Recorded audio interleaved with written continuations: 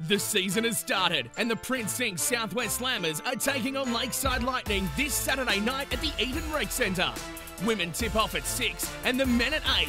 Come along and scream for your team. Go Slammers!